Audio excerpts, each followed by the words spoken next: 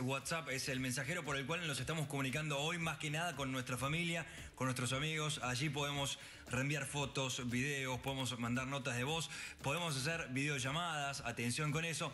Lo que les quiero decir es esto que acabo de comunicar WhatsApp hace un ratito nada más, eh, está en contra de la fake news, eh, incluso ellos acaban de publicar un, nuevo posteo en su, en su blog que lo voy a leer. Dice, hoy en día, debido a la pandemia, hay miles de millones de personas en el mundo que no pueden ver a sus amigos y sus familiares. Por eso están confiando más que nunca en WhatsApp. Lo que van a hacer es, viste que a vos cuando te llega, por, ahí, lo, ahí lo tenemos el comunicado, mira, viste a vos cuando te llega eh, un mensaje con doble, fecha, doble flecha, sí. bueno, que dice que es reenviado eh, por muchas personas, significa que no lo creó un contacto cercano, por lo tanto son menos personales que los típicos mensajes que se envían por WhatsApp. Bueno, ahora se está estableciendo un límite para que estos mensajes solo se puedan reenviar a un chat de por vez. Hay muchas personas que lo que hacían era, te llegaba una foto y se la reenviaban a cinco grupos, a tres personas, a tres amigos. Ahora solamente estos estas fotos, estos videos y cualquier contenido que, que esté WhatsApp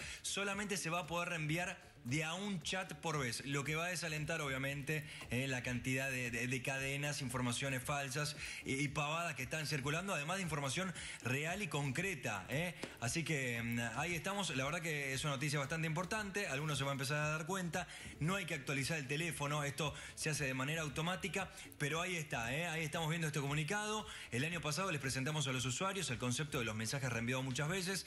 Estos mensajes tienen una etiqueta de doble flecha. Que indica que no los creó un contacto cercano, por lo tanto son menos personales que los típicos mensajes enviados por, por todos. ¿eh? Noticia último momento, te la contamos acá en, en TN de 10 a 14 y también la tenemos eh, obviamente en nuestra web, en tn.com.ar barra tecno. Sí, ¿qué, significa básicamente llega una foto o llega una información.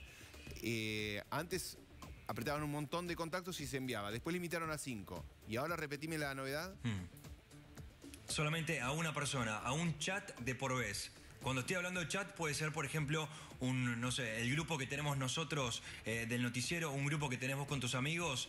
Eh, atención con eso. Solamente se lo vas a poder enviar a un chat de por, por, vez, ¿eh? no a más, de, a más de un chat, ni a dos personas, ni a tres, ni a cuatro, ni a cinco. El año pasado se empezó a limitar esto a cinco personas. ¿eh? Ahora solamente de a un chat por vez, lo que están tratando de hacer es que circule menos información y menos información falsa. Incluso, ¿eh? atención, porque la OMS habilitó un chat, eh, un, bot, un robot, no hay una persona contestando atrás, sino que hay, hay unas máquinas que vos podés chatear dentro de WhatsApp con la Organización Mundial de la Salud y así consultarle síntomas, información, chequear noticias, así que hay de todo, Guille. Bueno.